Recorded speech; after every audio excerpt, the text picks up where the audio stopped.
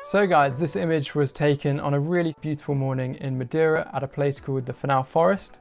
I really want to bring out that nice contrast between the whites and the dark shadows just to draw the viewer towards the center of the photo.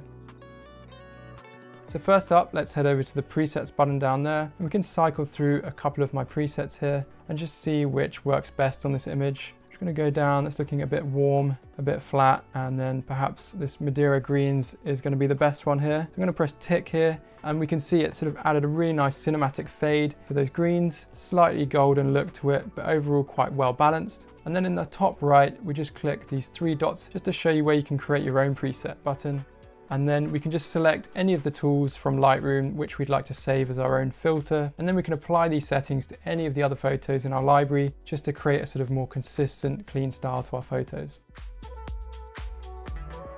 I'm going to head over now to the healing brush tool perhaps zoom in onto the far right of the photo on these two people here and just try and clean them out of the image. That one's done a pretty good job already. I'm going to just press tick on that to save that. So let's click healing brush again and just draw in on the person there. And I'm going to move this sampling area just so it sort of fits quite nicely to the image. Don't have to be too careful because it's quite small in the photo, especially if this image is for social media.